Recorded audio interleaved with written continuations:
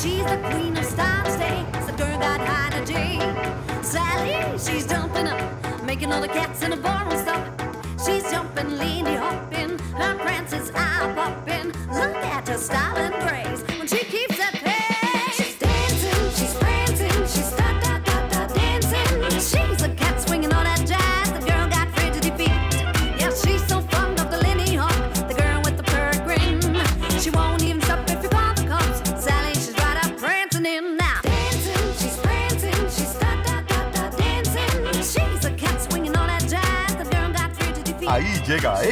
apurada como siempre.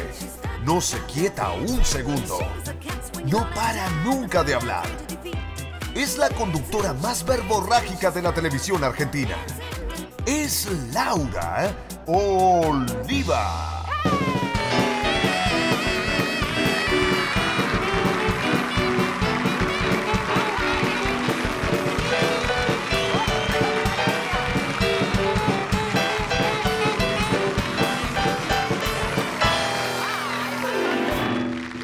Esas es ay, gracias, estoy muy Julian Moore, dicen que después del, del accidente. Bueno, muy bien, aquí estamos nuevamente, miércoles, programa aquí en Aceite de Oliva a las 12 de la noche en punto, como siempre decimos en este hermoso canal que es Ciudad Abierta, que nos ha recibido con las manos abiertas, justamente. Valga la redundancia, estamos todos aquí con la orquesta formada, en este caso, en este día miércoles, por el señor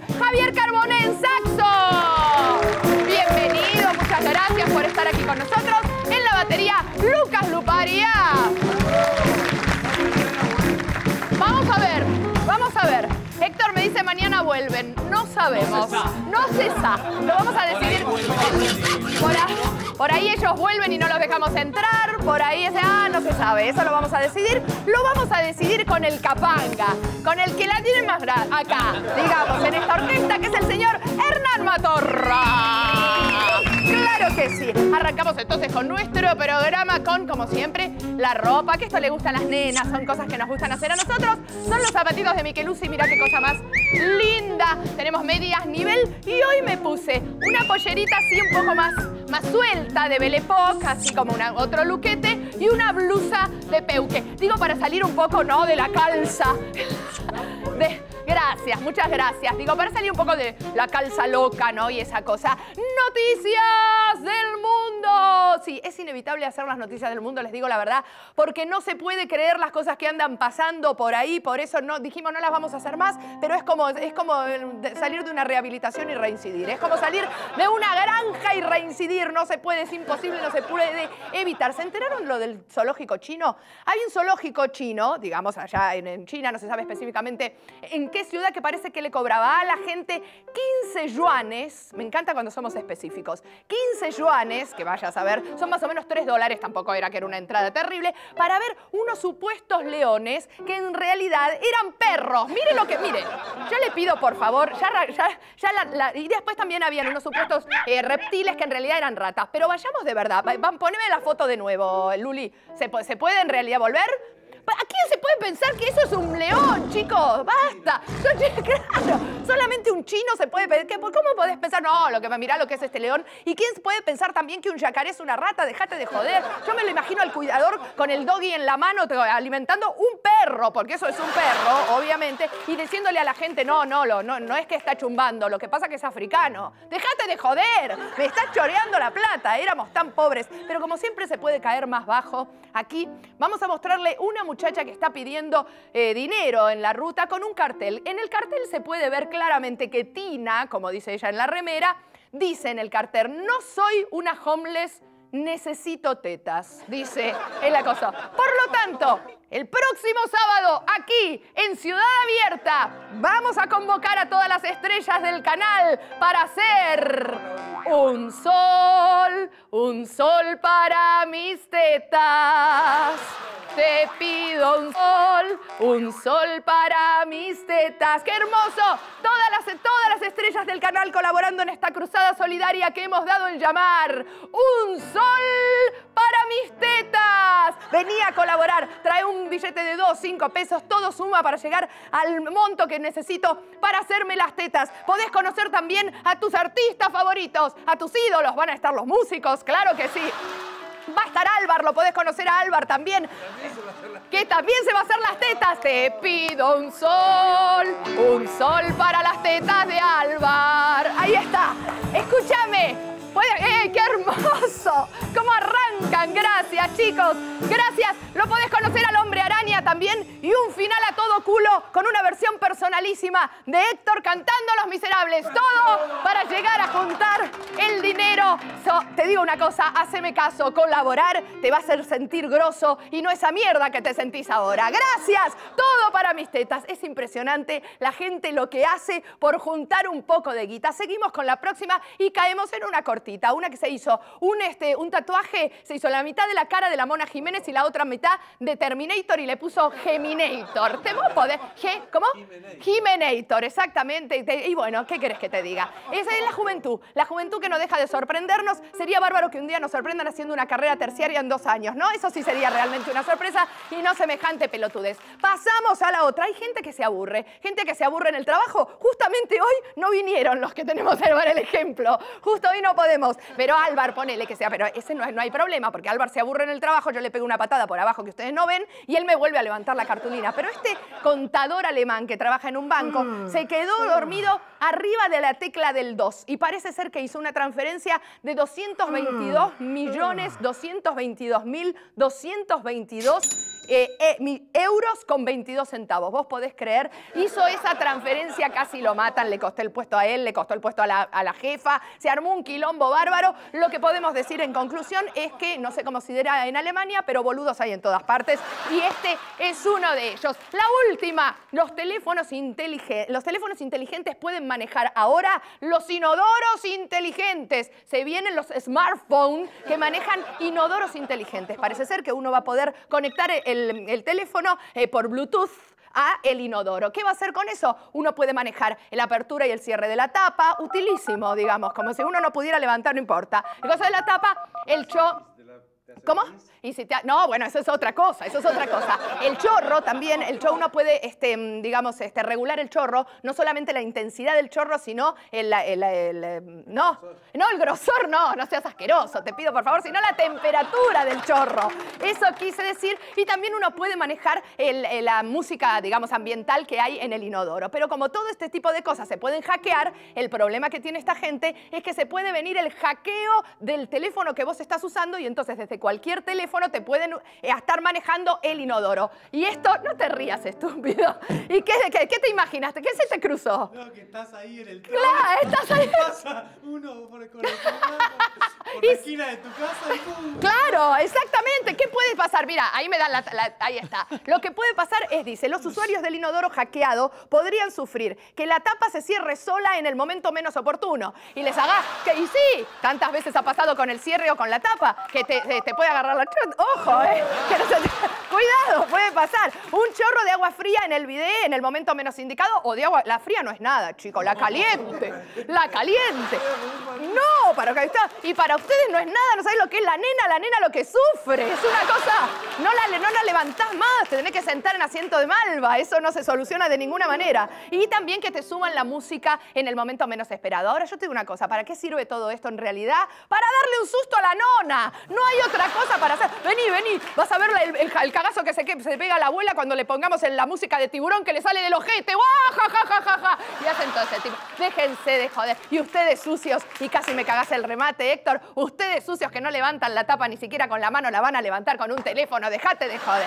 Me la van a mear igual y encima después del técnico me va a salir una fortuna. Por eso, amigos, relájense. Sigan viendo este programa porque, como bien dice la publicidad, un buen sillón y un momento para vos eh, no tienen precio. Para todo lo demás existe aceite de oliva.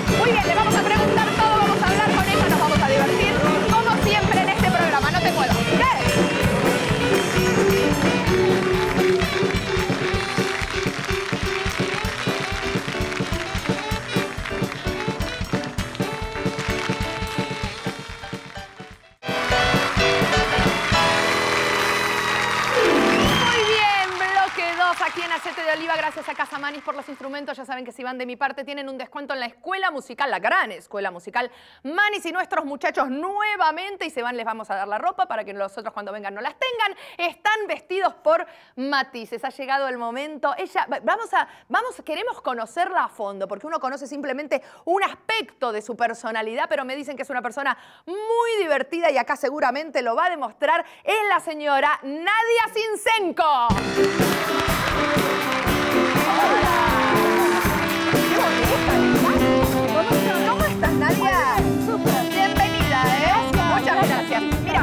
Pasar por aquí.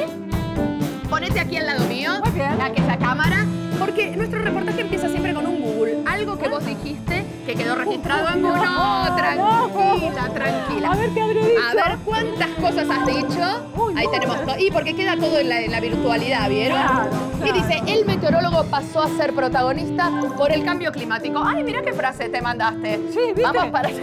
Profundo, ¿eh? Profunda. Vamos a ir al, al sillón con... eh, ahí está, sentate ahí en el, en el medio, es tu lugar. El cambio, mira, justamente era una de las preguntas que tenía para más adelante, pero vamos a arrancar por eso. Em, ¿Qué onda con el cambio climático? ¿Es tan tremendo como se dice? ¿Es lo que nos va a terminar llevando a todos a la hecatombe? Eh, ¿No es para tanto? ¿Cómo es la cosa? Mira, es así. A ver. ¿Qué es? Es. ¿Qué es? Es. Esto no se discute, porque los números lo cantan, ¿viste? El servicio meteorológico, ahí tenemos todas las estadísticas, Sí. lo consultamos, lo miramos, ¿Cuáles son, perdóname, cuáles son los números que, que lo, que esto que vos dices que lo cantan? que lo ponen súper en evidencia. 1942, temperatura mínima en la ciudad de Buenos Aires, 4 grados, 7 décimas bajo cero. 13 días seguidos de ola polar. Ah. Temperaturas mínimas ahí cerquita de bajo cero. 13 días. 13 días seguidos. 13 días seguidos. En el 40 y pico, que no es, no es hace tanto. No hace tanto, y desde los años 60 que la Organización Meteorológica Mundial, con la que trabajamos, bueno, a la que pertenezco, por trabajos que se hacen, ¿viste? En, en presentaciones. Pues. Investigaciones, sí. Sí, sí, por la difusión, bueno. Lo viene avisando y diciendo y diciendo y diciendo, ¿hay a quiénes? Bueno, a todos los servicios meteorológicos del mundo y a los gobiernos de los países. Cuidado que el cambio climático, cuidado que esto se está calentando, que esto se está calentando más de lo esperado. En los 70, uy, vean, esto ya está Concretamente con números. Concretamente, claro, más en nuestro país, las mínimas especialmente, pues también vamos a charlar sobre esto si querés. Sí, claro, por supuesto. Y bueno, en los 70 ya, viste, la- era un grito. Y en los 80 ya estaba reconfirmado. Con el número, ¿con qué número? Eh, deja- Dejaron, primero las, las olas, las, las grados bajo cero, yo no los recuerdo, salvo un día y un ¿Alguna grado. vez? Exacto. Claro, ese es el punto. Claro. Que en los últimos 10 años ha sido realmente un calentamiento muy, muy notable. ¿Y cómo se sacan estos datos? ¿Cómo se sacan estos valores? Pues sabes que los servicios meteorológicos trabajan de una manera muy interesante. Ajá. Por empezar, trabajan todos reunidos en conjunto.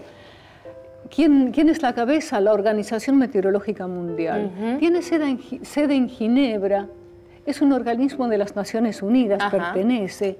Todos los servicios meteorológicos informan lo que les pasa, la- las condiciones meteorológicas, los- el cambio de clima, la evolución Sí. del clima, el estado del tiempo, cómo cambió, más que el tiempo, el clima, obviamente, ¿no?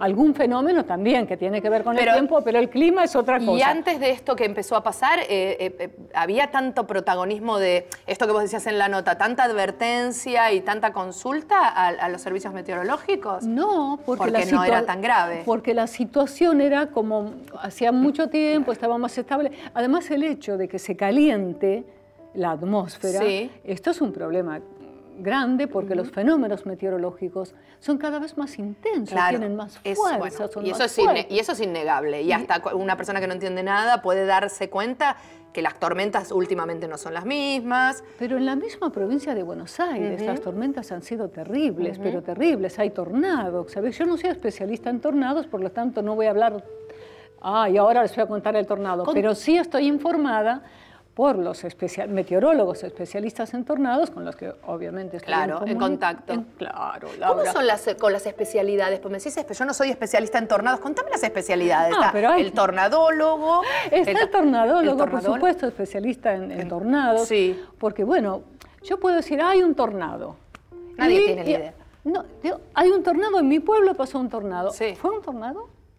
¿Cómo me doy cuenta? ¿Por ¿Cómo me doy cuenta? Porque la Organización, Mete- Organización Meteorológica Mundial define claramente cada, para- cada fenómeno. Claro. Dice, bueno, esto es huracán, esto es tornado, esto es tormenta. Tiene ciertas se- características Y precisas. si encaja en eso, se define. Es un tornado. Claro, porque no es al azar, ¿viste? No es que cada servicio meteorológico hace lo que le, lo que le parece es prudente.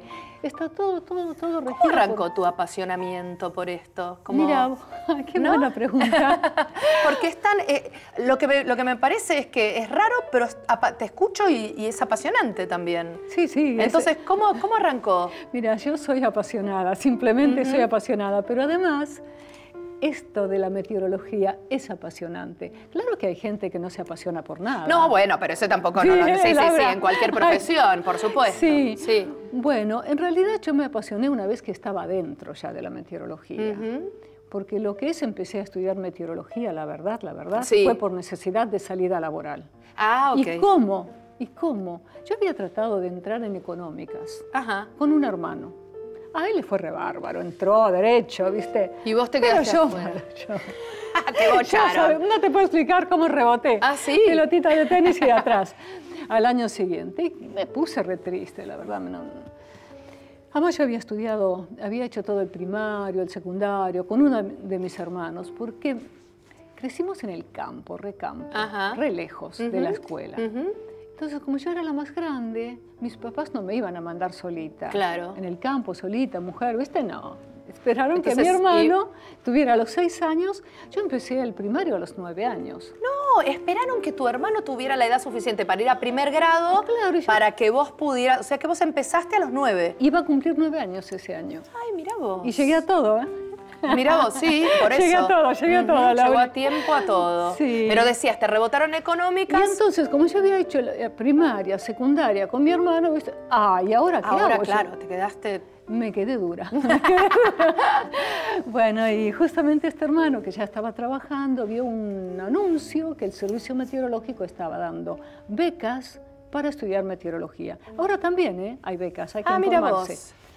Y, ¿Y eso es para qué? ¿Para atraer a la carrera? Porque, porque Sí, claro. sí, sí, porque, la verdad que sinceramente a nadie se le ocurriría de arra- decir yo cuando sea grande voy a ser meteoróloga, ¿no? Yo me agarro el termómetro. Claro. Y no me lo no, saca. No, no, el barómetro, el termómetro. Claro. Más el termómetro, Más- el barómetro es menos conocido. ¿no? Claro, claro. Entonces las becas tienen que ver con incentivar para, para entrar a la carrera. Claro, claro, exactamente. Porque, mira, para empezar, poca gente sabe de qué se trata. Claro, por eso te digo. Además, vos me preguntabas qué especialidades.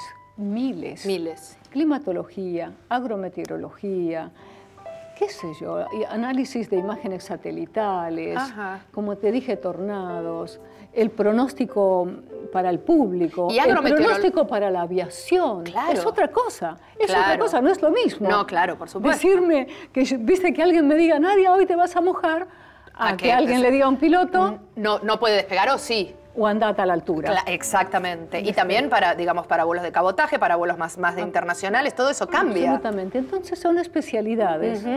Y entonces uno elige lo que... Bueno, la, la base de la carrera, el básico es lo mismo. Después en tercer año ya vos decís, bueno, Claro, yo ahí te voy a hacer- ¿Y vos te hiciste alguna especialización? Sí, en pronósticos. En pronósticos. Sí, en pronóstico para el público. ¿Y se jode mucho con el tema de.? No, no, no, no, me te jode. joden, no, no, No, no me- estás harta me que te preguntan, No, ay, yo no, me te meto, yo encanta. me meto, yo te me encanta. Yo quiero, mira, yo te quiero, te quiero mostrar que lo que a mí me cuesta hacer una, una entrevista en serio en este Sí, programa, porque sí. por las, las- las preguntas que me escriben, yo te quiero poner, me dice. Ah, te escriben "Perte- Sí, viste que yo no Ah, las miro. porque tenés. son una. eh, Te digo, mira, dice, perteneces a la Organización Internacional de Presentadores del Tiempo. Las reuniones se suspenden por lluvia. Son unos pelotudos, chicos, de verdad. No. Lo digo, no, no, en serio, en No, serio, de verdad. no. Yo me tengo la hay que remarla. No, no, yo te digo más. Pero Laura, Sí. un- en una de esas, en una de esas, no sabes cómo me mojé. En Ginebra, no sabes cómo me mojé. O sea que no se suspenden por lluvia. No, no se suspenden. Y yo estaba justamente en la organización meteorológica, teníamos una reunión, y yo no estaba lejos del el hotel de, donde se hacía la Sí. reunión. Pero cayó. Además son puntuales. Claro, Ginebra. Además son puntuales. Claro. No, los meteorólogos. Ah, claro. Los meteorólogos, porque trabajamos por turnos. Ajá. ¿Viste? Entonces 12, fui- 12 horas, Sí. ponele, 12 horas. Fuiste y te empapaste. Ah, me empapé. no a ella también le pasa, No, señora. no, por suerte cuando salí ya no llovía, menos mal. Menos mal. En el próximo bloque vamos a jugar al culo sucio, ¿sabías? No. No. Vas a- tenés que empezar a pensar con qué tenés el culo sucio porque hoy te gano. no, Yo puedo asegurar no. que hoy te gano. Pero antes de terminar esta entrevista, elegime una tarjetita. ¿Cómo no? Esta, esta A ver, la última pregunta que tiene que ver con mi apellido. Aceite de oliva virgen. ¿De qué sos virgen, Nadia?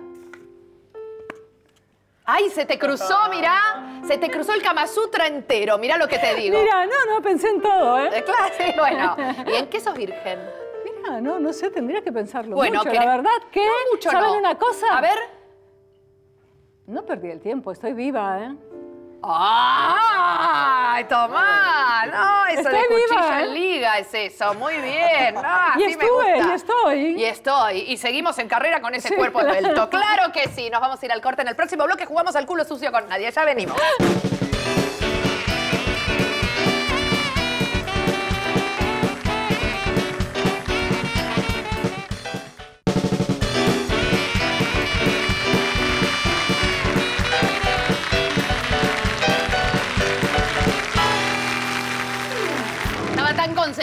mezclando las cartas que me olvidé de, de- de cortar la, la O porque hoy estoy en vena, ¿eh? Menos mal. Sí, sí, sí, sí, sí, sí, Mira, si ganó. haces así, tomás en la temperatura, te pagan un suplemento. ¿Cómo, ¿Cómo tengo que hacer? Y con lo que hiciste.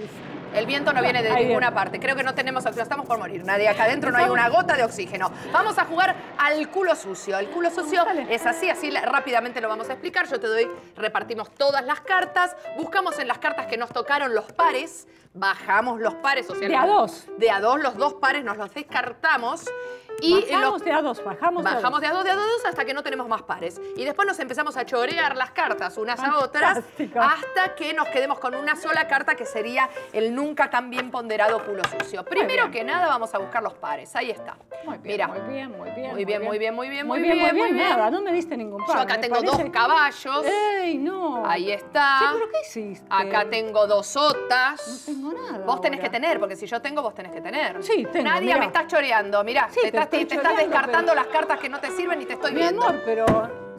Cuatro. Sos muy rápido. Ahí está. Y es eso, ¿viste? Eso se- son bolas que se corren, no te creas. No creas todo lo que dicen. Acá tengo dos nueves. Ah, no, no, y estoy prendida a fuego. Creo que no tengo más. Ahí está, mira, nadie encontraste dos cuatro nada más. Tienes que tener más, más pares. Y que yo soy lenta. Yo soy de, de, de- viste, de cosa lenta. Ahí está, ahí encontraste lo mío- otro. Lo mío va paso a paso. Está muy bien, está muy bien. No encuentro los... No, te- ahí no, te voy a decir Me lo que empiezo no ¿Qué? encuentro. ¿Que no encontraste qué? ¿Qué No, dijiste? No, te voy a decir nada. ¿Qué ibas a- Los caballos. Los caballos. Ah, bueno, ¿viste? Porque Mira, tenías pero- todo yo. ¿Viste? Ahí, pero, ahí entraste como loca. Y sí, ahora ¿Qué me más? estoy apurando porque ¿qué pasa? No, no te estás ahí. apures si tenemos Sí, toda la no. noche, mira. Sí, la noche, pero yo me tengo que levantar a las 4. Ah, claro. La- el meteorólogo es, ma- es mañanero, ¿no es cierto? No, yo soy nochera, pero esta vez las autoridades me dijeron a la mañana. Upa, ¿y? Y que el que Qué manda, feo, manda, que manda, que- capitán. Y manda, manda el que manda. Y no me va mal, ¿eh? Che, vos dijiste que antes de una tormenta el, el- Sí, el- sí. tú- uno se, se se te pone más calentón que de costumbre. Y pero sí. Y sí. Una dos días antes Pero uno está bravísimo. uno o dos días antes. Sí. Ah, yo pensé que Ah, era no antes. te puedo explicar. La noche anterior uno está re bravo. La- si yo les aviso. Vos me tenés que sacar. ¿La noche anterior a la, a la tormenta estás caliente? No te puedo creer. Escúchame, bajo ahora, ¿no? Sí, baja. Ahora, ¿cu- ¿cuándo va a llover dentro de poco? Dentro de poco ¿Eh? que llueva. ¿Puede ser? ¿En qué? Porque yo te digo, no sé si será por la tormenta, pero será de Dios. ¿Será de Sí, Dios? Sí, es. Vamos. Es justicia. No te puedo creer. Bien. no, no seas Esa es la justicia. Vamos, dale, bueno, que soy dale. yo ahora. No, sí, vas a estar vos. sí, Ah, claro, te avivaste, ah, sí, te avivaste. aprender. No, pasa que te estoy distrayendo con el tema de la calentura porque se ve que sos tremenda, un ¿viste? Y al final, Y si no, ahí la- está, la un caballo, Piki. Ah, piqui, piqui, sí. La atmósfera está cargada, claro, y uno la ¿Y la sangre le empieza a hervir. Y pero la atmósfera Eh, yo te digo, para mí, para mí se viene la tormenta, este, Mati. Así que prepárate que hoy. Mati, Sí, Mati. sí, sí, hoy, hoy ligas. ¡Ah, ¡Ah! Pero no puedo, chicos, no puedo, y pero no puedo. No Y se bueno, puede. Dale, dale, dale tengo vos. Yo. Casi, ¿eh? ¿Sí? Casi, casi me Casi, queda casi la mira, me voy a, me, voy- Bueno. me la voy a mezclar porque Ay, no puede ser. Igualmente ahora, me muero, ¿eh? ¿Saben que me, me- No, me no, muero si no tranquila, No, no yo- puedo. Uy, ya, no, ya me empecé a poner como loca. Acá tengo esta, ahí Ah, está. bueno, vos te empezás a poner. Ay, yo chicos, qué como- suerte. Ay, qué alivio. Ay, qué alivio. ¿Pero qué es lo que no tenés te tanto digo, no, porque viste, ya, ya confesé mil cosas y no quiero seguir confesando nada. Ah, bueno. Ok, a ver. em, es no muy divertido. pienses, eh. no pienses. No pienso, no pienso, no, No, pienso, no pienso, no pienso, no pienso, Tiki. Si pensás ¡Ey, que ey, ey, ey! ¿Y ahora qué? Ahora tengo una sola yo, entonces sigo sacando yo. ¡Sí! ¡Ha perdido Nadia, gracias a Dios! Y queremos saber más. a- ¿Con qué tenés el culo sucio, Nadia? ¿Y si yo les cuento que como chocolate a escondidas? Que comer chocolate ¿A escondidas. escondidas? Escondidas, porque parece que el chocolate tiene las mismas endorfinas Sí, que el ¿sabías? tacto ¿Lo sabías? sexual. ¿Lo sabías? O sea que estamos Calientes. Nadia, por favor. ¿Cómo me vas a decir? Se viene la tormenta. ¿Cómo, cómo comes a escon- ¿Qué comes? ¿Lo- ¿Que las cajas enteras? No, me, como unos- me compro unos chocolates con almendras. Sí. Y le, y En una, en una ca- chocolatería. Especial. claro, especial. Ah, En no una cualquier buena- no, no, chocolate. no, no, perdón, especial. Especial. Dije con almendras. Con Laura, almendras. Y si no me compro unos que son muy caros, Ajá. así, que tienen muy buen envueltitos, muy que lindos. para eso hay que invertir. Mira lo que te trajeron, vos podés creer. Están Ah, todos preparados, son una no. cosa, no le vamos a poner la cosa. Bueno, y entonces me decías, sí, agarrás la caja. es no, mío eh, eso. No, mi amor. Pero sos tremenda, chame, y agarrás todo ¿Y el me lo vas a dar chocolate. no? no te lo voy a dar. Ajá, no te lo voy ya. a dar por calentona, por eso no te lo voy a dar. Sí, lo como escondida de Lo día y de noche. De día y de noche. ¿Y cuándo te pega peor? De día. De día. Estoy despierta. ¡El mañanero para Nadia! ¡Bravo! Nadia, qué placer tenerte acá. Gracias por haber venido. Chao, nos despedimos. Gracias